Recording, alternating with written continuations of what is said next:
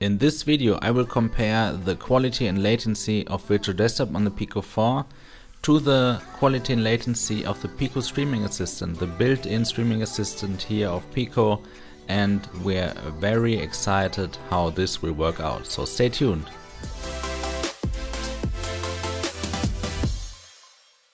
This is Virtual Desktop. This is my virtual environment where my virtual desktop is in front of me.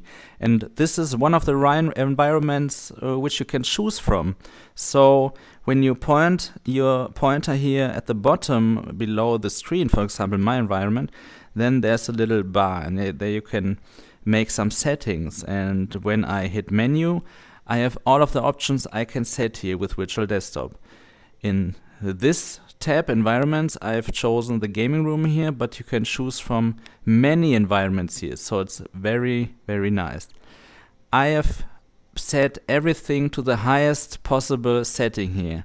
I've set it to ultra. This is the render resolution. We will have a look at the render resolution in a minute. Then I've set to this uh, frame rate setting to 90 FPS the bitrate to the highest here, 150 megabits per second. I've cranked up the sharpening to 100% to compensate the compression here with the Pico 4 on Virtual Desktop. And of course, we do not use the synchronous space warp option as we only want real frames, no interpolated frames between a real, real frame here.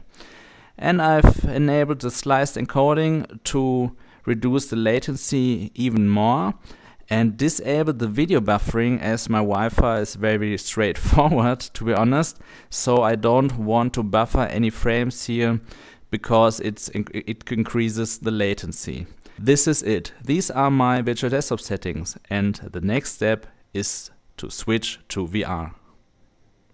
This is important to mention. When I hit the graphics quality in Virtual Desktop to Ultra, the render resolution is at 3168 by 3168 pixels per eye. So this is a higher higher resolution than the display resolution of 2160 by 2160 frames in the display because we need some more pixels. We need lens buffer. When I move, there there are pixels where already have been calculated and are in the background, so I, I don't see any black borders here, for example. Or I, we have a little um, distortion correction, for example, in other headsets. These are the reasons for this high resolution. The resolution is always higher, so please keep that in mind. The resolution is always higher than the display resolution. If not, then there's something wrong in your setup, in your settings here. So please keep that in mind. Now we're here in Beat Saber. I will start a song now to test the latency, to test the image quality, and I would suggest that I play Be There For You. I like this song on hard with faster song option here as a mutator, and then I will tell you about the latency, the image quality, and everything else I see here. Okay. Yes, it looks good. It looks good, it feels good. So when you are used to lighthouse tracking, of course, you feel that it's not as responsive as with a lighthouse headset. A lighthouse headset is of course not wireless, so there's uh, there's not as much of delay, of course, but it's not a big delay, so don't get me wrong. But you can feel that it's different with a lighthouse, of course. But this is not related to Virtual Desktop here. When I play standalone Beat Saber, for example my Quest 2, it does not feel like like Lighthouse headsets, of course, even if it's not streaming from my PC.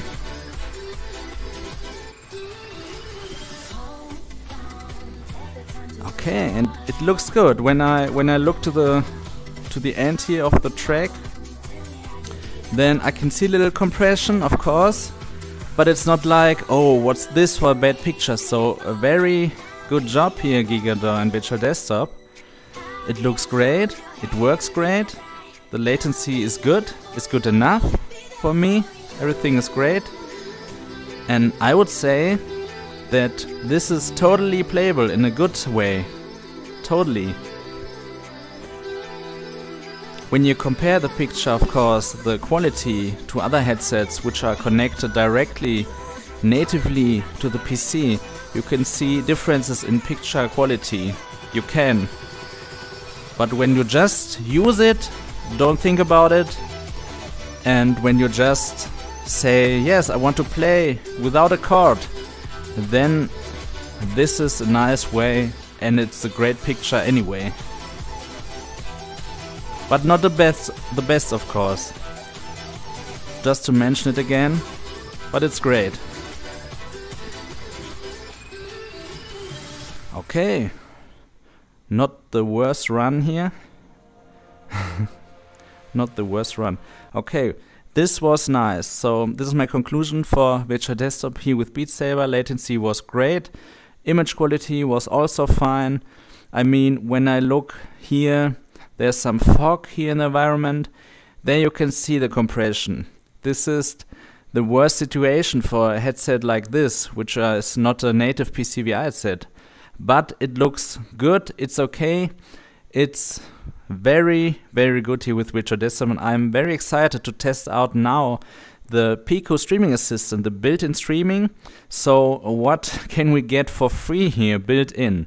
I'm very excited for this. So stay tuned for the next test now. To start the connection via the streaming assistant, the built-in, you have to start the streaming assistant, of course, on your PC and on your Pico. And then you have this screen here and I can connect now to my PC. Now we are in SteamVR via the Pico streaming assistant. This is little performance overlay here in the Pico streaming assistant.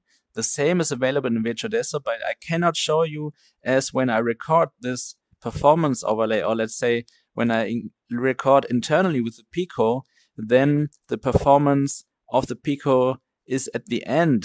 so uh, the Pico is then uh, not able to stream the game anymore very fluently. So no recording at the highest settings here internally. And this is the reason I can show you now the performance overlay of the Pico Streaming Assistant. Now it works. And now we can test if this works to record internally and play at the same time. This is the first time I can judge and see the quality of the Pico Streaming Assistant picture here. Stream from my PC now wirelessly to my Pico 4. And I will spoiler now, this is the same poor quality as it is with the Pico Neo 3 Link, to be honest. We have only 100 megabits per second bitrate and we cannot change it via the app. We have to go to files like the config ini and we have to search for it. There's no no manual, of course, because this is not the way a user should do this. There have to be an option in the software to crank up the bitrate here. But now we have only 100 megabits per second. And this is very poor. Of course, disclaimer. This is a pre-production software. This is uh, like uh, an alpha or beta software. It's not the final one yet. And yes, we have to judge it again when it's finally released. But as I've said, it was the same poor quality already with the Pico Neo 3 Link. So I don't, I don't expect that this will get better in two or three weeks. Maybe in a few months. I don't know. So what's the render resolution here? Yes, as you can see, I've already cranked up here to 200% as I think this is the correct render resolution plus minus, but this was the standard resolution. And of course, it's the wrong one. I've explained to you why it has to be higher than the internal display resolution. So watch that you have with the Pico streaming assistant like this resolution. This is the correct one. So I hope they will fix at least this before they release the final version. So yes, let's start Beat Saber here. And then we will judge again. Okay. The low bitrate is very much visible here, but unfortunately in a bad way. so let's let's test the latency. Maybe this is a good thing. Let's test it. So I have no sound in the headset here. This is also something which does not work currently, but I think this is something they will fix definitely before they launch the final version.